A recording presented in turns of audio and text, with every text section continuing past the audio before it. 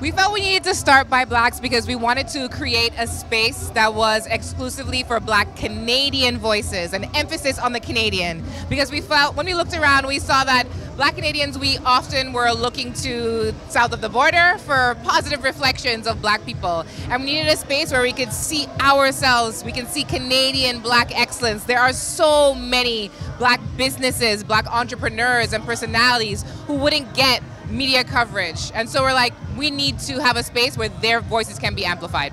What's next is to develop more video content for the site.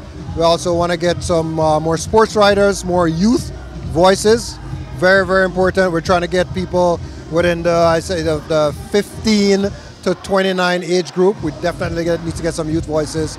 And I still feel that uh, we need some male voices as well too. Just male issues, things that affect fathers, uh, fatherhood, masculinity, and sexuality. Well, for me, winning the ByBlacks Award is two times amazing. Um, I not only won the Dance Dancer of the Year, but Carnival Spice also won Dance Company of the Year. So it's an honor because not only is it from our people, but it's the whole of Canada acknowledging all of our work, celebrating with us, and supporting all of the vibes that we spread throughout the city. Well, Carnival Spice, we not only offer dance performances in mass, um, but we also offer fitness experiences. We work with youth of all ages and just really pushing the movement that community is everything. We like to educate, we like to inspire, and we like to celebrate Caribbean culture in all different facets. Winning this award is so phenomenal. And the reason why is because it is the People's Choice Award.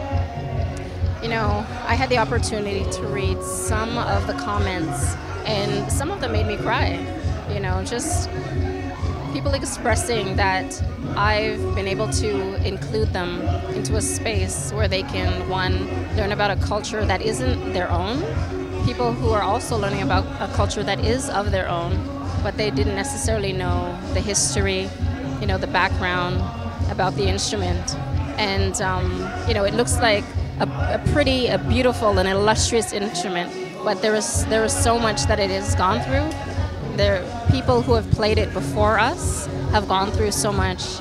And for myself, to be able to play without being condemned, to play as a woman without being uh, ashamed, you know, to be proud, you know, it, it, gives me a great sense of accomplishment and it allows me to just share um, the culture. It allows me to share my love for the for the music as well as the culture, and um, just sharing with others. You know, bringing people together through song, through these musical notes on this on this uh, steel pan, this steel drum, this oil drum. You know that um, once was regarded as a piece of garbage and now is absolutely taking a 360. We're in a year, a decade where we can just celebrate its existence.